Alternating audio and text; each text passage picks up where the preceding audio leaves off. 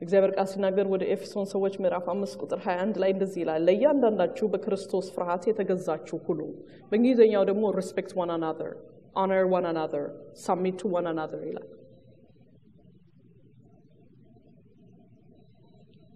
ሚስት ለባሏ submit አድርግ ቢልም፣ ሚስት ባሏን ታክብር ቢልም፣ ሚስት ባሏን ትፍራው ቢልም፣ ሚስትም በባሏ መከበር አለባት። የእግዚአብሔር ቃል clearly ያስቀምጠዋል። disrespect ባረጋት ቁጥር ቤት ውስጥ የምትሰራው ቤት ማለት የሴት ነው። ቤቷን ባንቋሸሸ ቁጥር የእሷን የምትሰራው ልጆቿን አስተዳደግን ባንቋሸሸ ቁጥር ውስጧ መሞት ይጀምራል። እንዴት አይነት ፈውስ አለው መሰላችሁ እርስ በርስ መከባበር ነው። ብዙ ጊዜ መድረክ ላይ እንደምለው እንግዳ እንኳን ቤታችሁ መጥቶ ምሳሌ የምሰጠው በራሴ ባሌ እንኳን ነው ስቶ ማለት ነው። አሁን ፕሬዚዳንት የአሜሪካን ፕሬዚዳንት ማን ነው? ትራምፕ ነው አይደል? ፕሬዚዳንት ኦባማ ነው አሁን ፕሬዚዳንታችን ቢል እኔ ከእሱ ጋር መስማማው እንጂ የመጡት እንግዶች ፊት እንዴ አንተ ደግሞ አሞሃል እንዴ ምንድን ነው አምኔዥያ ይዞሃል እንዴ ምን ማለት ነው ምናምን ብዬ አላዋርደውም አላዋርደውም ከእሱ ጋር ኦባማ ነው።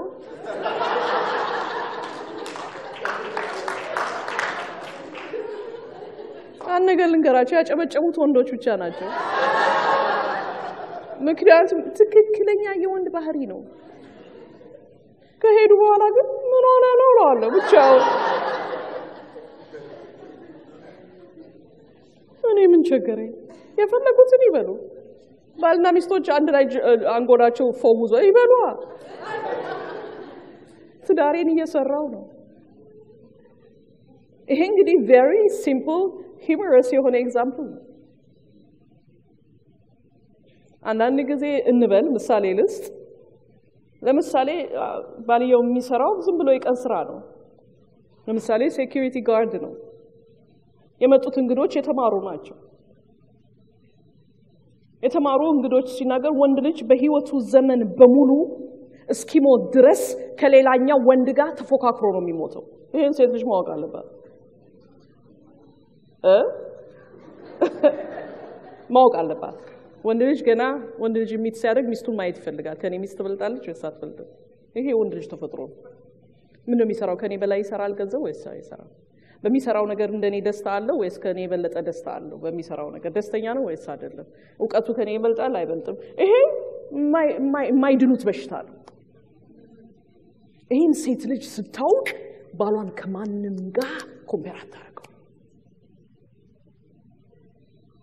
ከማንም ጋር። no no no no ብዙ ባሎች ይኖሩ ይሆናል። አንተ የኔ ባል ግን ከሁሉ የተለየህ ነህ የሚል message ነው ሁልጊዜ ለእሱ ታቀርብለት ስለዚህ ሰዎች እነዚህ ወንዶች መጥቶ ቤት ውስጥ ሲነጋገሩ ብዙ ጊዜ ይታያል። እኔ በተለይ በዚህ አገልግሎትም ስላሉ ያን competition ኡ እናየዋለሁ clearly ባክ ሴት ልጅ በዛ ውስጥ ገብታ ሚስት እንዴ አንተ ደግሞ ማለት ነው። እነሱ እኮ ሶስቱም እኮ የተማሩ ናቸው። የትኛው ዲግሪ ነው? ታውቃላችሁ? በጥይት ብትገለው ይቀለዋል። በደንብ በጥይት ጸጥ ብላ አክብራው። ከወጡም በኋላ እነሱ የተማሩ ናቸው ማለት የለባትም። ያውቃል እሱ እንዳልተማረ። respect አድርጋው በሌላ indirectly ሀሳብ ማምጣት ትችላለች። በተለይ ለወንድ ልጅ respect ማለት የልብ ትርታው ነው። እሱ ደግሞ ትቢት ይዞት አይደለም። እግዚአብሔር ስለፈጠረው እንደዛ። respect ከሚስቱ ይቀበል ዘንድ በውስጡ desire ስላስቀመጠ ነው እግዚአብሔር በስማ እዚህ ላይ መቼም ብዙ መቆየት ይቻላል ግን ሄደት እንበል አንዳንድ ባሎች እባክሽ ቆይ እያሉ ነው በልባቸው